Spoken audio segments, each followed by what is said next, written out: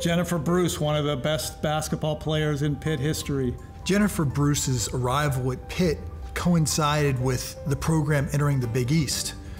I don't think it's coincidental that she ushered the program into its most prominent era. Jennifer could score. She could fill up the basket for sure, averaged over 20 points per game. Jennifer Bruce is the second all time leading scorer in Pitt basketball history, men or women, with a total of 2,295 points. She was a dominant player on both ends of the floor, played hard all the time. Uh, you knew what you were going to get every night. She did it all, and she was named three times to the All Big East team. Jennifer's very competitive. She's competitive till this day. But back when she played, I think the, the thing that made her so competitive and the fact that she played so hard was that she came up in a neighborhood where she had to play with the guys.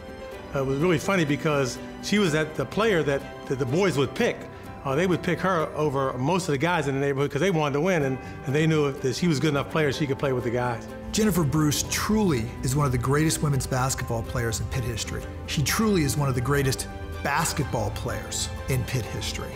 Well, Jen, congratulations. Just so very proud of everything you've always accomplished. You know, we've been proud of you no matter what you've done, but to be a part of this particular class on the Hall of Fame is really special, and we're so very proud to, to be a part of this night for you.